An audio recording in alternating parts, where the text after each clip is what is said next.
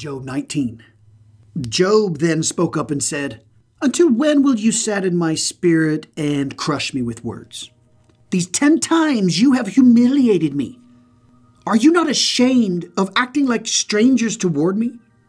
Even if I have erred, my error lodges within me. Although you try to overwhelm me by reproving me with disgrace, know that God has wronged me for he has encircled me with his net. In truth, were I to protest against unfairness, I would not be answered. Were I to plead, there would be no justice. He has fenced in my way, and I cannot pass. He has set darkness upon my pathway. He has stripped my honor from me and removed the crown of my head. He has smashed me from all sides, and I have gone away. He has uprooted my hope like a tree. He has kindled his anger against me and regarded me like his foes. Together, his legions advance. They pave their way toward me and encamp around my tent. He alienated my brothers from me. Those who knew me estranged themselves from me. My close ones stay away. My friends have forgotten me. Those who live in my house and my maidservants regard me as a stranger. I have become an alien in their eyes. I call out to my servant, but he does not answer, though I beg him with my own mouth. My breath is repulsive to my wife. I must ingratiate myself to my offspring. Even the youth despise me. When I rise, they talk about me. All my confidants detest me. Those I loved have turned against me. My bones cling to my skin and flesh. I have escaped with the skin of my teeth. Pity me, Pity me, O you, my friends, for the hand of God has afflicted me. Why do you pursue me as does God? Have you not been sated with my flesh? If only my words would be written down, if only they would be inscribed in a book with an iron stylus and lead engraved forever on rock. But I know that my Redeemer lives, and that he will be the final one remaining upon the earth. After my skin was stricken, they pierced me with this bombast. And I see the judgment of God from my flesh. I see it for myself. My eyes have seen it, and not a stranger's. My kidneys have been destroyed within me. Perhaps you should say, Why do we beleaguer him? What is the root of the matter within me? You should fear the sword, for wrath against sin brings the sword, that you may know that there is punishment. Job 20. Zophar the Naamathite then spoke up and said, Therefore my thoughts compel me to answer, because my silence is within me. I have been listening to insulting reproofs, and the spirit of my understanding prods me to answer.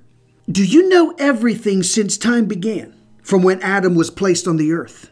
For the exaltation of the wicked is but recent, the happiness of the hypocrite lasts but a moment.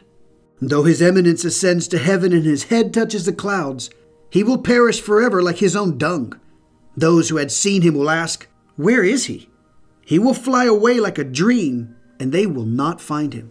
He will be hustled away like a nighttime vision. The eye that beheld him will not see him again. The people of his place will not observe him again. His children must appease the poor, and his hands must make restitution for his robbery. His power filled his youth but it will all lie with him in the dirt. When an evil idea becomes sweet in his mouth, he hides it under his tongue. He will cherish it, never abandoning it. He will keep it inside his palate, but his food will twist in his innards. The bitter venom of asps is inside him. He devoured wealth, but will disgorge it. God will purge it from his gut. He will suck the poison of asps. A cobra's tongue will kill him. He will not see the streams, the rivers, the brooks of honey and cream. He returns his victim's toil and does not swallow it. In exchange for his dishonest wealth, he will have no exultation. Because he smashed the poor and laid them waste. He has stolen a house, but he did not build it. Because he never knew tranquility in his stomach, he will not escape with his desire. There is nothing left of his food, therefore he will not achieve his prosperity. After his satiety has been gained, misfortune will strike him. The hand of all the weary will overtake him. God will dispatch his burning wrath against him. It will fill his stomach. He will shower his warfare upon him. He may flee from weapons of iron, but a bow of brass will pierce him. He has drawn his weapon, it leaves its sheath. The flash of its bitter terror overwhelms him with fright. Total darkness lies in wait for his hidden treasures. An unfanned fire will consume him. Misfortune will befall the survivor in his tent. The heavens will reveal his sin. The land will rise up against him. The produce of his house will be exiled, swept away on the day of his anger. This is the wicked man's portion from God, and the legacy assigned him by God. Job 21.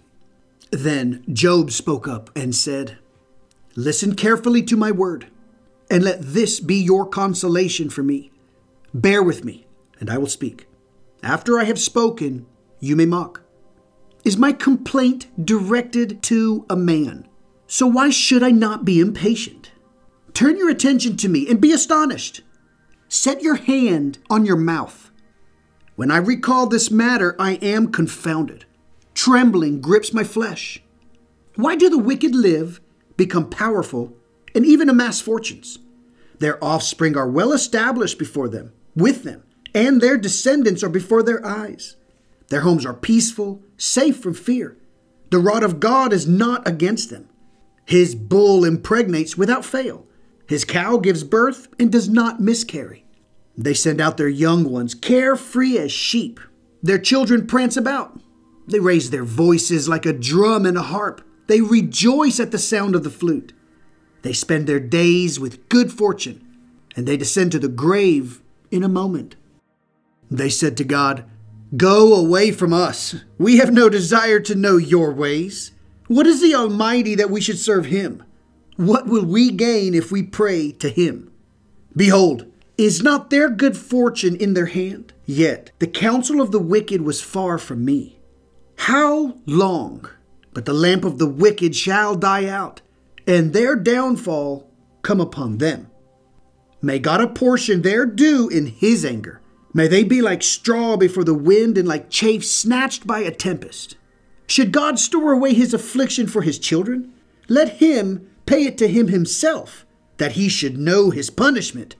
Let his own eyes see his ruination, and let him drink of the Almighty's wrath. For what is his interest in his household after he dies, when the number of his months have been cut off? Can one teach knowledge to God, he who judges the lofty? One person dies in unimpaired perfection, completely peaceful and serene, his breasts full of milk and the marrow of his bones moist, while someone else dies with a bitter soul, not having tasted good fortune. Together they will lie in the dirt, and maggots will cover them. Behold, I know your thoughts, the schemes that you wrongfully plot. For you say, Where is the house of this generous one? Where is the tent of the wicked people's dwellings? Did you not inquire of wayfarers? Do not ignore their testimonies, for evil is withheld until the day of calamity, until the day when sinners are brought to face God's fury. Who is it that can be told to his face about God's ways, about all he has done? About the one who will requite his deeds. He is brought to the grave and lies forever upon a mound of dirt. The clumps of dirt in the valley become sweet to him. All men are drawn after him and before him without number. How can you console me with meaningless words? Your responses remain a betrayal. Job 22. Eliphaz the Temanite then spoke up and said, does man benefit God when he learns wisdom from people? Does the Almighty care if you are right? Or does he gain if you perfect your ways?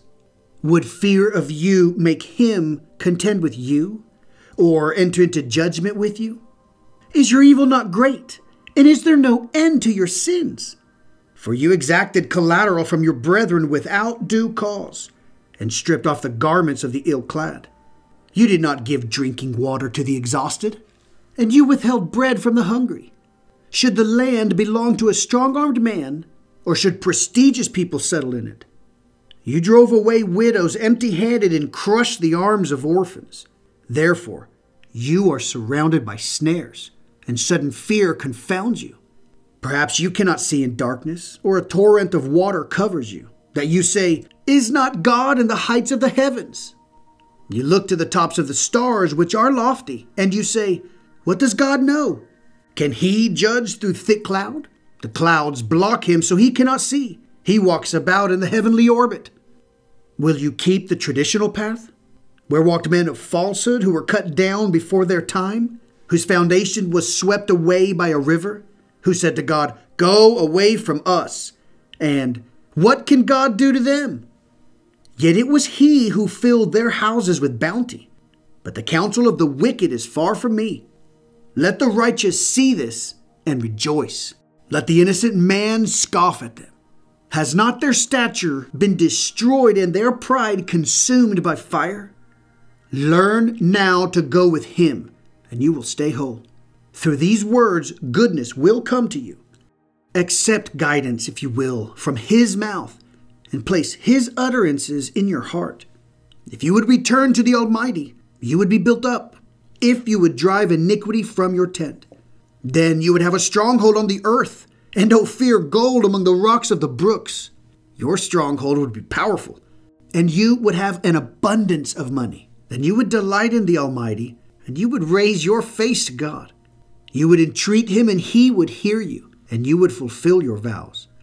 You would utter a decree, and it would be done, and light would shine upon your ways.